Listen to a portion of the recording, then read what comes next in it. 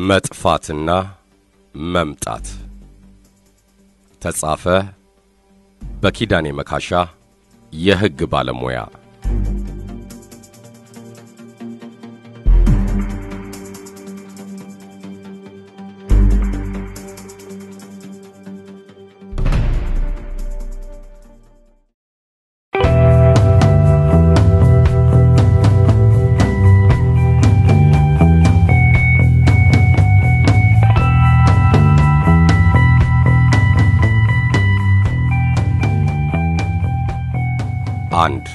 ሕግ አንድን ሰው ጠፍቷል የሚለው መቼ ነው? የፍትሐ ብሔር ሕግ ቁጥር 154 ንዑስ ቁጥር 1 መሠረት ጠፋ ለመባል መጀመሪያ ሰውየው መጥፋት አለበት። ለጉዳይ የሆነ ቦታ የሚሄድ ሰው የለም እንጂ ጠፋ አይባልም። ስለዚህ ቢያንስ የት እንዳለ የማይታወቅ ከሆነና ከሁለት ዓመት ወዲህ ስለ ሁኔታው ምንም ወሬ ካልተሰማ የጠፋው ሰው ዋና መኖሪያ በነበረው ስፍራ የሚያስችሉ ዳኞች የመጥፋት ውሳኔ እንዲሰጡበት ጥያቄ ማቅረብ ይቻላል።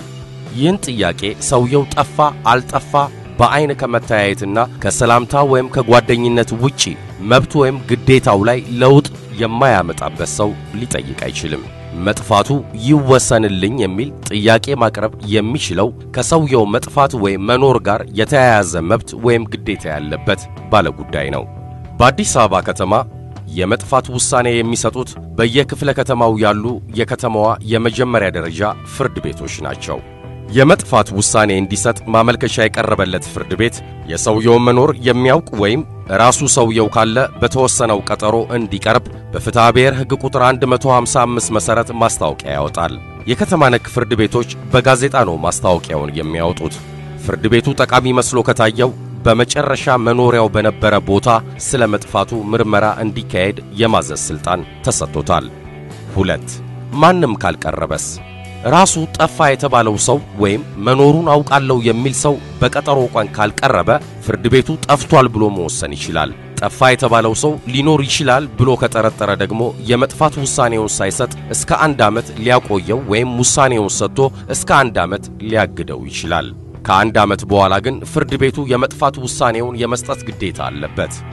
ዳኛው የግለሰቡን መጥፋት አሳማኝ ሆኖ ካገኘው በፍትሐ ብሔር ሕግ ቁጥር 157 መሠረት ወዲያውኑ መጥፋቱን ሊወስን የሚችለው የጠፋው ሰው የሞተ መስሎ ከታየው ግለሰቡ ለንብረቱ ወኪል አድርጓል ወይስ አላደረገም የሚለውንና የነገሩን ሁኔታ አይቶ እንዲሁም ወሬውን ሊያሳውቅ ያልቻለበት ምክንያት ካለው መርምሮ መጥፋቱን የሚያሳምን ሆኖ ካገኘው ነው። ሦስት ከዚያስ ፍርድ ቤቱ የሰውየውን መጥፋት ይወስናል። ያገኘው ማስረጃ የጠፋው ሰው መሞቱን የሚያረጋግጥ ከሆነ በፍትሐ ብሔር ሕግ ቁጥር 161 መሠረት የመጥፋት ውሳኔው ላይ መሞቱ ይገለጻል። አራት የመጥፋት ውሳኔ ውጤቱ ምንድን ነው? ጋብቻ ካለው የመጨረሻው የመጥፋት ውሳኔ በተሰጠበት ቀን እንደ ሞተ ተቆጥሮ ጋብቻው ይፈርሳል። የጠፋው ሰው ቢኖር ኖሮ የሚወርሰው የውርስ ክፍፍል ከተጀመረ ደግሞ እንደሌለ ተቆጥሮ ይዘለልና ያሉት ወራሾች ውርሱን ይከፋፈላሉ። የጠፋው ሰው ኑዛዜ ወይም የጋራ የንብረት ድርሻ ያላቸው ሰዎችም እንደ ሞተ ተቆጥሮ በመብት ድርሻቸው ይጠቀማሉ። ፍርድ ቤቱ ድንገት ቢመለስስ ብሎ ለመብቱ ማስከበሪያ ዋስ ወይም ሌላ ማረጋገጫ እንዲያስይዙ ሊጠይቃቸው ይችላል። በጠፋው ሰው መኖር ቀለብ የመስፈር፣ መጦሪያ የመስጠት፣ ገንዘብ ወይም ኪራይ የመክፈል፣ ንብረት የማስረከብና የመሳሰሉት ግዴታዎች ያሉባቸው ሰዎች ግዴታው በሰውየው መሞት የሚያበቃ ከሆነ ይቀርላቸዋል። መብቱ ለወራሾች የሚተላለፍ ከሆነ ደግሞ ለወራሾች ግዴታቸውን ይወጣሉ። አምስት የጠፋው ሰው ከመጣስ መጥፋትና መሞት ውጤታቸው ተመሳሳይ ቢሆንም አንድ ግን አይደሉም።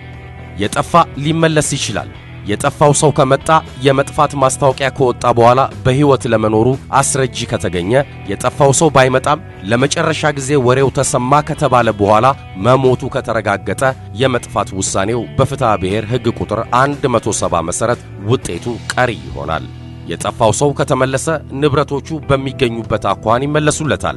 የተሸጡ ከሆነ ዋጋቸውንና በገንዘቡ በመስራት የተገኘውን ንብረትም ይመለስለታል።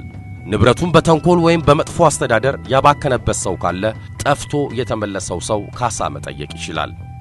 ስድስት የጠፋ ሰው ጋብቻ ግን አይመለስም። ይህን ያለው አስገዳጅ የሕግ ትርጉም የመስጠት ሥልጣን ያለው የፌዴራል ጠቅላይ ፍርድ ቤት ሰበር ሰሚ ችሎት ነው። እንዲህ ነበር የሆነው። ወይዘሮ ውቢትና አቶ ዝቋላ ተጋብተው በሐዋሳ ሲኖሩ ተጣሉና ወይዘሮ ውቢት በ1999 ወደ ዱባይ ሄደች። አቶ ዝቋላ በ2001 ዓመተ ምህረት የመጥፋት ውሳኔ አሰጠባትና ጋብቻቸውም በዚያው ቀን ፈረሰ። ከ2001 እስከ 2002 ዓመተ ምህረት ባለው ጊዜ 3 ሚሊዮን ብር የመንግስት ገንዘብ አቶ ዝቋላ በመመዝበሩ በወንጀል ተፈረደበት። ገንዘቡ የተዘረፈበት የሐዋሳ ከተማ ፋይናንስና ኢኮኖሚ ጽሕፈት ቤት በአቶ ዝቋላ የጎደለበትን ገንዘብ ማስመለሻ ንብረት ሲያፈላልግ በጋብቻ እያሉ አብረው ያፈሩት በወይዘሮ ውቢትና በአቶ ዝቋላ ስም የተመዘገቡ ሁለት ቤቶች አግኝቶ አሳገደና ተሸጠው አቶ ዝቋላ በወንጀል ላጎደለው ገንዘብ ገቢ ይሁንልኝ ሲል አመለከተ። በዚህ መሃል የመጥፋት ውሳኔ ተሰጥቶባት የነበረችው ወይዘሮ ውቢት ከጠፋችበት ተመልሳ የመጥፋት ውሳኔውን አሽራለች። በጠፋሁበት ጋብቻችን ከፈረሰ በኋላ የመጣ ዕዳ በመሆኑ